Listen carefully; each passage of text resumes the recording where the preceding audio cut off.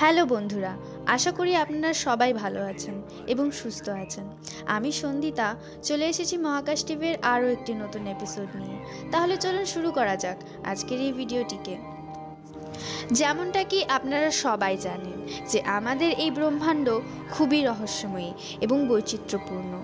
যেমন আমাদের কাছে এই জিনিসটা এখনও ক্লিয়ার নয় যে আমাদের পৃথিবী ছাড়া ব্রহ্মাণ্ডের অন্য কোনো প্ল্যানেটে আদতেও লাইফ এক্সিস্ট করে কি না কিন্তু কিছু বৈজ্ঞানিকদের মতে, আমাদের ইউনিভার্সে কোনো না কোনো প্ল্যানেটে তো নিশ্চয়ই লাইফ এক্সিস্ট করে, ঠিক আমাদের পৃথিবীর মতনই। এমনকি পৃথিবীতেও আপনি এমন অনেক মানুষ পেয়ে যাবেন, যারা আনআইডেন্টিফাইড ফ্লাইং অবজেক্ট অর্থাৎ ইউএফএ দেখেছেন বলে দাবি করেন। এখনও পর্যন্ত আমাদের কাছে গোটা পৃথিবী থেকে ইউএফএর ব্যাপারে অনেক ইনফরমেশন এসেছিল এবং ইন্টারনেটেও অনেক ফটো এবং ভিডিও ভাইরাল হয়েছিল যেগুলি ইউএফও নিয়ে ভূ খবর রটিয়েছিল।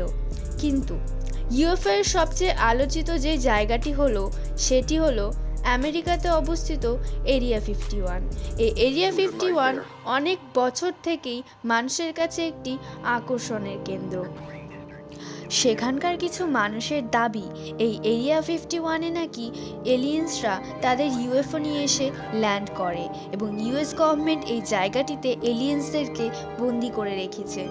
যদিও এরিয়া ফিফটি ওয়ান ইউএস এয়ারফোর্সের একটি সিক্রেট ডেস্টিনেশন যেখানে ইউএস এয়ারফোর্স বিভিন্ন ধরনের সিক্রেট রিসার্চ এবং টেস্ট করে থাকে এবং সিক্রেট জায়গা হওয়ার কারণে এই জায়গাটিতে কিছু সিলেক্টেড মানুষই প্রবেশ করতে পারে। কিন্তু বন্ধুরা। সন্দেহ তো তখনই উৎপত্তি হয় যখন ইউএস গভর্নমেন্ট এই জায়গাটির ব্যাপারে কোনো ইনফরমেশন দুনিয়াকে জানাতে নাকচ করেন এবং জানান যে এরকম কোনো জায়গা এক্সিস্টই করে না।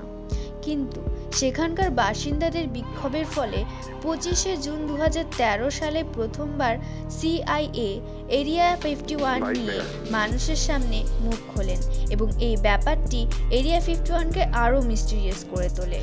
এরিয়া ফিফটি ওয়ান এই জায়গাটি ইউএসের লাস ভেগাস শহর থেকে তিরাশি কিলোমিটার দূরে অবস্থিত।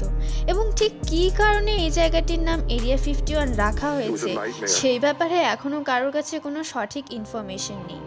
কিন্তু প্রচলিত আছে যে US atomic energy commission numbering গ্রিডের আন্ডারে থাকায় এই জায়গাটির নামকরণ করা হয়েছে এরিয়া ফিফটি ওয়ান দু হাজার চোদ্দ সালে প্রথমবার যখন ইউএসের একজন senior scientist Boyd Bushman area fifty ওয়ানে প্রবেশ করেন তখন তিনি যা দেখেন তাতে তিনি পুরো চমকে যান এবং তিনি যা প্রকাশ করেন তাতে পুরো দুনিয়াকে আশ্চর্য করে দিয়েছিল। আপনারা জানলে অবাক হবেন যে তিনি জানান এই এরিয়া ফিফটি ওয়ানে ইউএস গভর্নমেন্ট অনেক কয়েকটি এলিয়েন্সকে সিক্রেটভাবে বন্দি করে রেখেছে। এবং এই এলিয়েন্সগুলির ব্যাপারে আরও রিসার্চ করার পর তিনি জানান এই এলিয়েন্সগুলো নাকি মাত্র এক ঘন্টায় পৃথিবী থেকে নিজেদের গ্রহে পৌঁছতে পারে। এবং যেহেতু বয়েড বুশম্যান একজন বিখ্যাত সিনিয়র সায়েন্টিস্ট ছিলেন তাই তার এই মন্তব্যটি সবাই বিশ্বাস করে নেন। বুশম্যান সেই সিনিয়র সায়েন্টিস্টদের মধ্যে একজন ছিলেন, যিনি অ্যাডভান্সড এয়ারক্রাফটের ওপর কাজ করছেন। এবং একজন সায়েন্টিস্ট হওয়ার সুবাদে তিনি বিভিন্ন ধরনের সিক্রেট জায়গাতে যাবার পারমিশনও পেতেন। তিনি আরও জানান যে এলিয়েন্সের হাইট নাকি ফাইভ ফিট পর্যন্ত হতে পারে এবং তারা প্রায় দুশো বছর পর্যন্ত বেঁচে থাকতে পারে।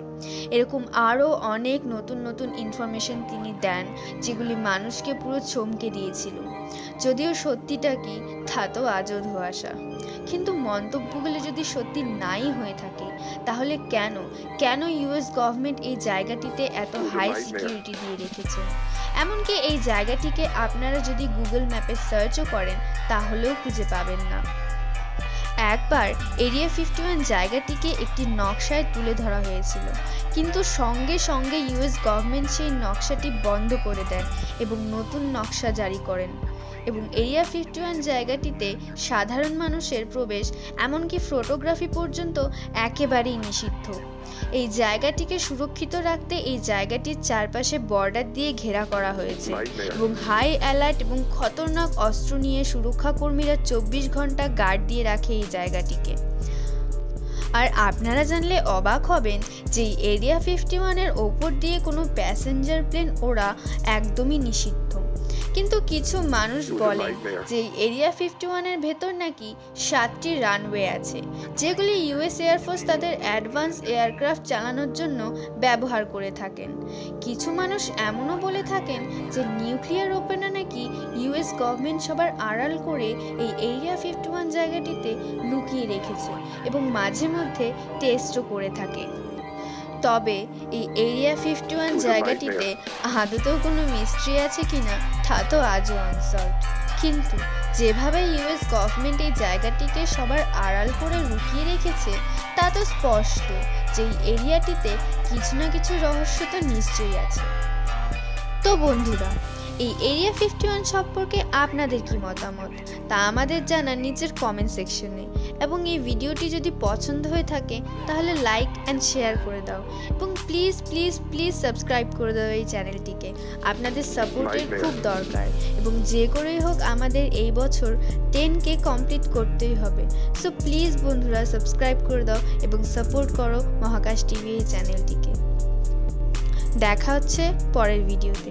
ততক্ষণের জন্য stay happy stay healthy and stay and obviously stay at home